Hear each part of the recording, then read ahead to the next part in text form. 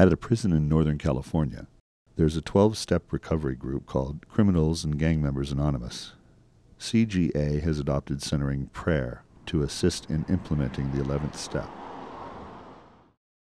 Centering prayer is a simple form of meditation popularized by a Trappist monk named Thomas Keating, who was invited by CGA to speak to their group. And I know that uh, in my knowledge of 12 step recovery and the evolution of it all, no one has ever defined a prayer and meditation practice to go along with the 11th step. And I think it's time that it be done now. And so with CGA, we wish to adopt Father Keating's practice of prayer and meditation because it continues along the Christian tradition. But what's special about it is it excludes no one of other faiths or anyone with lack of faith. It's open to all and excludes no one. And so at this time, I wanted Father Keating to know that for all CGA groups from now and forever, as far as I'm concerned, as the founder of CGA, and him being the founder of Centering Prayer, that hopefully that all can learn from the practice of centering prayer and that our experiences here can today flourish and continue to set a tone for all criminals and gang members to follow after this day.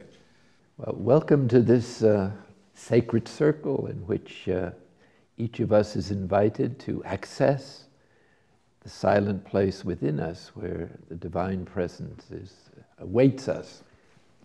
So I invite you now slowly to close your eyes letting go of the immediate environment we're in. If thoughts come, as they usually do, don't resist them, don't retain them, don't react emotionally to them. And if you notice you're thinking about them, return ever so gently to the sacred word you've chosen as the symbol or gesture of your intention to be with God during this time and to consent to His presence and action. And so let us pray in this way for these 10 minutes.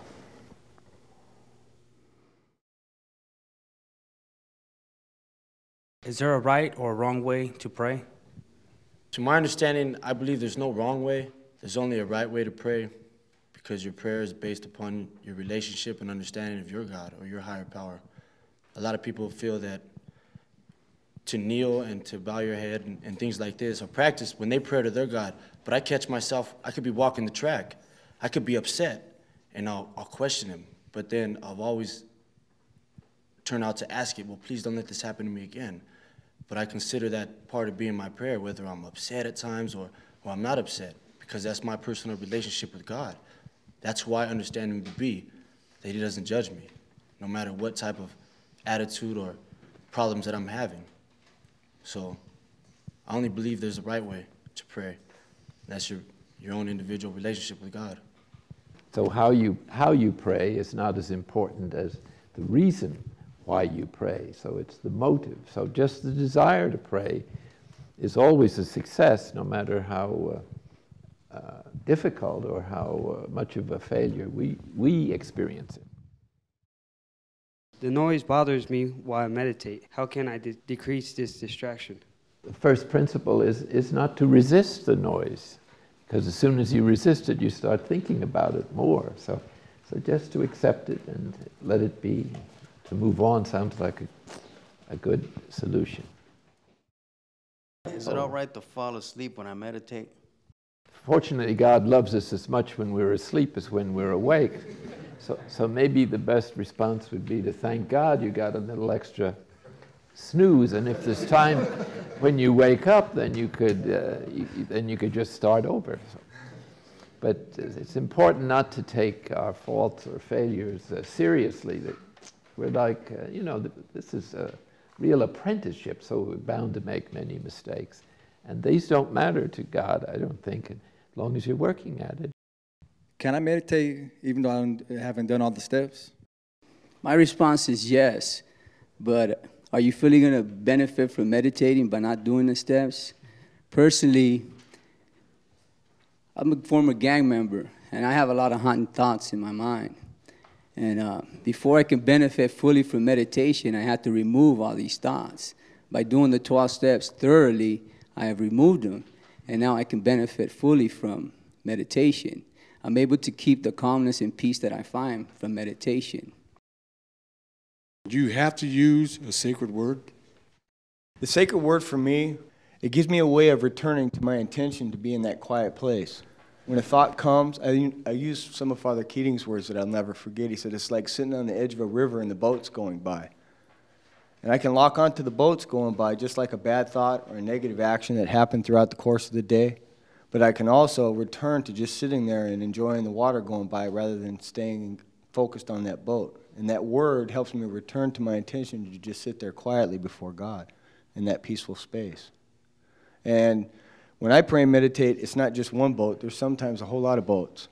And uh, so sometimes it takes me a few minutes to get to that peaceful space. In other words, the word has no importance of itself, though people often choose a, a name of God or something, but one can use some other word like calm or listen or peace or love or something else. But, but some people uh, feel more comfortable uh, in, in, in just following their breath as the symbol of, uh, of uh, breath really means spirit, of receiving the Holy Spirit into their inmost being. And when they exhale, of, of breathing out that the love of the Spirit into uh, all, all of humanity or into the atmosphere of wherever we're living. So, if for some reason, after a reasonable try, the sacred word doesn't seem to work for you, you might think of just following the breath, which is not following it physiologically, but simply noticing that you're breathing when you have a, a distraction or a thought that you don't want. I struggle with too many trash thoughts when I try to meditate, so why try? You, you know, we really can't uh, control the nature of our thoughts. All you can do is put up with them. So we, we suggest, uh, as a general recommendation, that you, you accept even the wildest thoughts that go through your mind without any, without any question. Because as soon as you start thinking how bad these are, this is another thought and it's worse than the first one because it has an emotional charge to it that up, upsets or takes you away from silence even more.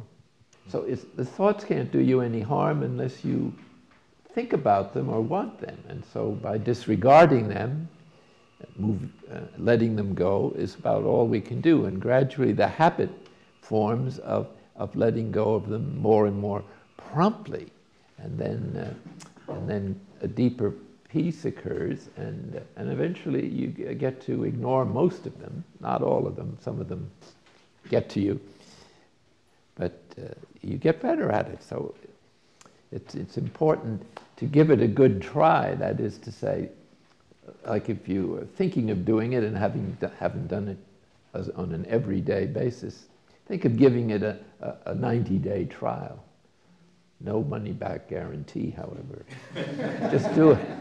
The guarantee will, the reward would be in, in experiencing what it's like to really have that discipline. What am I supposed to think about when I meditate? The discipline in centering prayer is precisely not thinking but it really means not thinking of anything particular.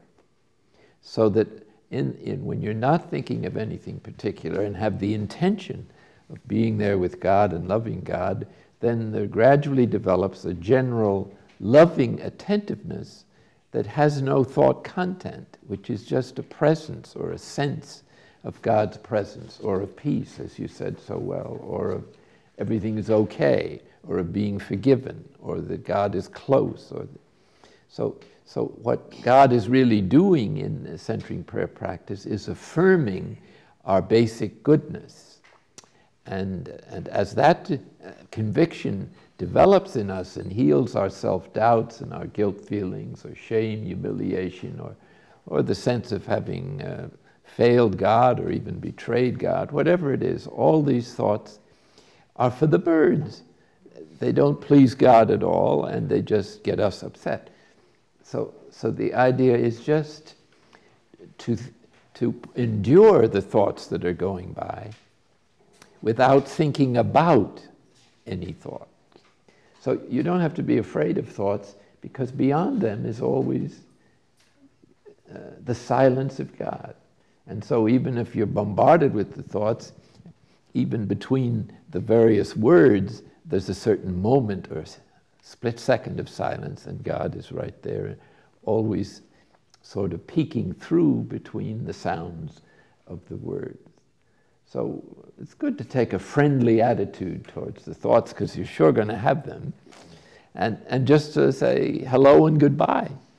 Uh, let them come, let them go. And when they get a little aggravating or attractive or cause an aversion, ever so gently return to the sacred word or the sacred breath. So it's really an exercise of, of the love of God. And the less self motivation, the better it goes. In other words, so to, to look for peace or to look for a spiritual experience is to misunderstand what love is, which is simply giving ourselves away to God again and again.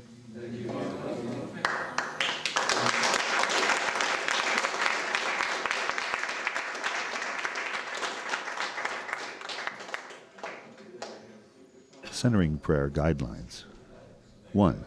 Choose a sacred word as the symbol of your intention to consent to God's presence and action within. 2.